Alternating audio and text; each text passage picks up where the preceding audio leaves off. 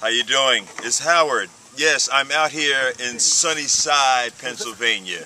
The lovely trees and you see my friend the horse in the background. We're talking about motivation. We're talking about having you to do, be, and have all that you ever wanted to have. We're talking about an opportunity for you to finally get it right, to get to be who you want to be. Yes, I've been doing this for 35 years, and as you know, in building my businesses and my empire, I started out with a small sum of $288 when I was 16, and then at 22, my first million in my pocket. That's right.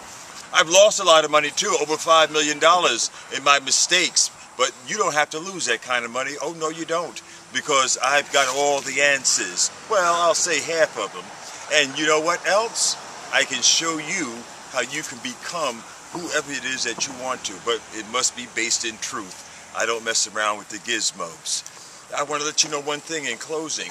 Whatever you vividly imagine, ardently desire, sincerely believe, and enthusiastically act upon must inevitably, inevitably come to pass. Now, come to our conference November 13th.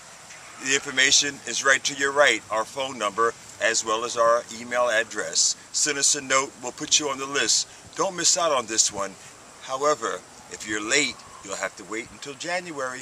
On the 15th of January, we'll also be in Newark celebrating Dr. Martin Luther King's birthday with a powerful bang of success and motivation. God bless and be well.